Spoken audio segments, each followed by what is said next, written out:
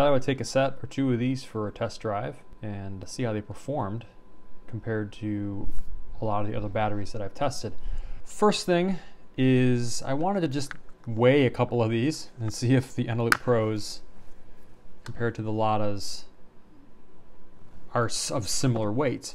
So got the scale here, goes down to grams and is super shiny. Let's turn it on and tare it. I'll measure a couple of these Eneloop Pros, three of each, and we'll just go ahead and run through these. 30 grams, 47 now, 30 grams, and 30 grams. It's interesting, these, no, they feel about the same. I, I just, the IKEA ones, no, they feel a little bit more dense. The, all the Eneloop Pros are 30 grams. The, uh, the LADDA went to 30 grams as well, but it went to 31 just for a second there. 30 grams. 30 grams. The same weight as the Eneloop Pros. Another potential indicator that they are similar. The batteries, these LADDAs, come in this package bright, bright green and basically indicate that they're ready to use. And is there anything that I want to mention on here?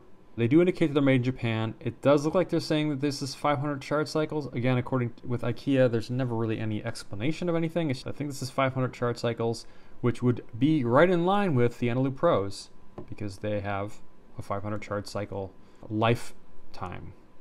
Ready to use. Uh, also, they are indicating that it's 1.2 volts at 2450 milliamp hour. These are claiming that they are at the rating of the minimum rating of all the the last batch of Eneloop Pros that I bought, which were they say a minimum of 2450 milliamp hour, which we've talked about before in a separate video, and these actually are 2550 milliamp hour, or in some cases 2500 milliamp hour. So let's just get to what the, the test data came to with all these. I've got all eight of them here, ran them through the the charger, and I was pretty impressed. We take a look at the the various test profiles, same thing I've been doing for all the other batteries that I've tested, the Eneloop Pros, the uh, Eneloops when I just did uh, one set of four of Eneloop Pros, the, uh, the EBLs, the Power Owls, they all, uh, actually the Power Owl testing was the inspiration for doing these multiple test profiles to get a better idea of the battery's performance. With a discharge of 100 milliamp hour, the average came right in at 2.45 amp hour, which is the minimum, which is what these are stating.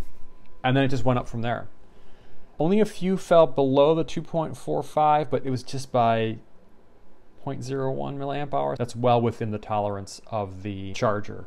The 250 milliamp hour, everything jumped up quite a bit, just like it did in the Eneloop Pros. The average being 2.62 amp hour, some climbing up to 2.67, 2.7. Then at the 350 milliamp discharge current, it went up to 2.67. It's a couple that peaked at around 2.72, 2.73. And finally, at 500 milliamp discharge current, this actually is a bit different than what we saw with the Eneloop Pros. It kept going up to 2.71, whereas the Eneloop climbed up until it hit 350 milliamp and then came back down again a little bit at that 500 milliamp discharge current. But these kept going up 2.45, 2.62, 2.67, and then 2.71 average, which is, is amazing. There's one caveat that I'm going to add before we go to the graph is that the Eneloop Pros that I have here have been, I don't have new Eneloop Pros. These are new and they've been probably, these were through about 15 charge cycles before I tested them. These are about 20 to 25 charge cycles. They were at least a year old. So these have chemically aged a little bit more than the LADDAs. And one set of four was from 2014. So one set of four was six years older. I'm curious if I were to remove those that kind of fell a little bit lower, would it give you a, a similar trend between the two? That I'll just I'll just put that in there afterwards and put something on the lower third.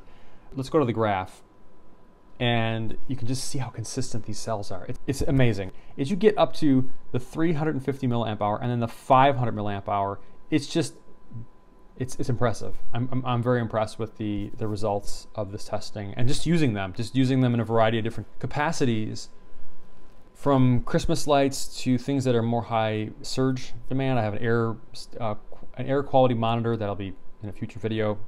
They're priced really well. These I think I bought these for $6.99. Granted, you're buying them from IKEA, so you got to pay for shipping.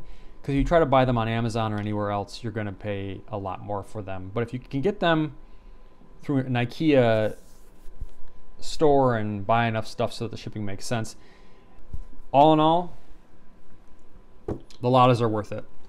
They also make a AAA version, which I am testing separately, the 900 milliamp hour. One final thing is that I will mention the battery charger really quickly. I left it as this charger's probably just fine for I, using the IKEA cells with it. And uh, I, that's all I ever charged these cells with until they were tested on the, the LaCrosse Technologies charger. So to, to get the capacity ratings, they were all done tested on this charger. But day to day, you know, week to week charging was all done with this. So, I mean, I think that's fine for that purpose. Uh, I am doing a little deeper dive into this because I was curious about the way that it was charging cells and if it was okay for use with regular Eneloops and uh, Eneloop Pros and the EBL cells. Who cares with EBL cells? But uh, the Eneloops primarily, is it okay to be, to, to, be used with them? That I'll be covering in a separate video. Um, the IKEA cells are fine to be used with this because IKEA had someone make the charger for these cells.